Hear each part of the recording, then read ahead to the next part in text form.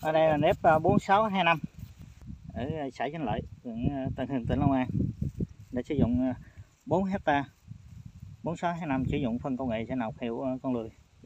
Cái này thì sử dụng F22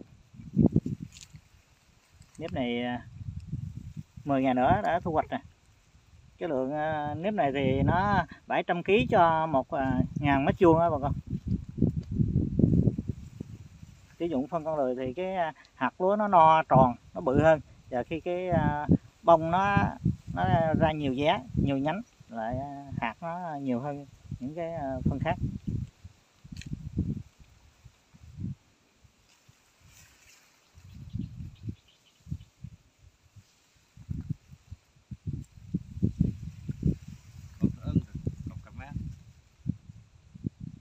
Vệ sinh của chú à, tư vậy thì sử dụng à, nay đã 4 năm rồi. Sử dụng phân à, công nghệ sinh học hiệu con lười.